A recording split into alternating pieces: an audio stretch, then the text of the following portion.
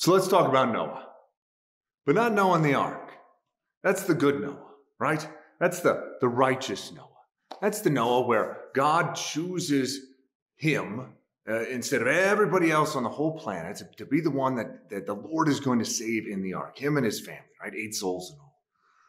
We hear about Noah all the time. We hear about his ark, we hear about the rainbow, and all of that's good. But after the ark, we don't hear a lot. After the flood, we don't hear a lot about Noah. There's just one small section that we get hear. That's uh, Genesis chapter 9, 18 through 27. And it's not a, a very good part of Noah. And we don't know uh, how long after uh, the, uh, the flood this was. Was it a year? Was it five years? A decade? Was it a generation? We're not really sure. Whatever the case, though, we know that Noah had become a farmer and he had planted a vineyard. And he had, uh, it had been a long enough time where he's actually gotten the, the, the crops and he's produced some wine and, and he, well, he has too much and he gets drunk and he ends up naked in his tent. And this is where this story comes in. And a lot can be said there, and I'm sure many people do. They, they, they speak about uh, his drunkenness and how that's a sin, and how can somebody uh, uh, do this after the Lord has saved him. And that kind of talks about the simultaneous saint and sinner uh, that's in all of us. But I don't want to go there, right? I want to go somewhere else. I want to, I want to go where the curse happens because the curse happens in this story to Canaan. It happens to Ham's son.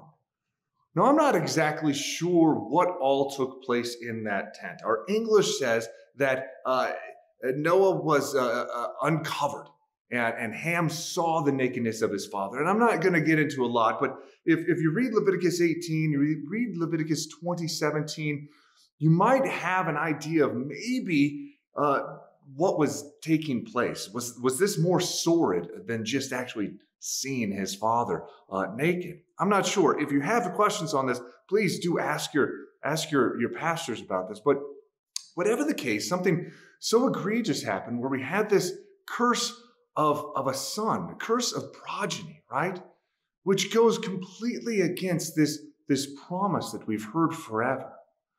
And so one has to kind of uh, take a look at, at Canaan and all the Canaanites and, and this curse that comes. And from there on out, we've got the Canaanites being uh, an evil to Israel, an evil to all of God's people here.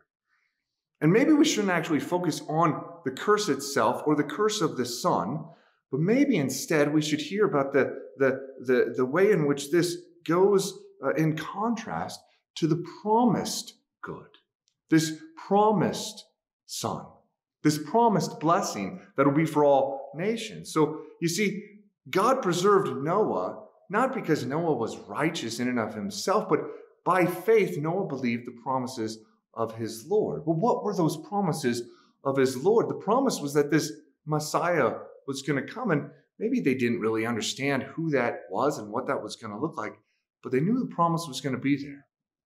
And so that promise is Jesus.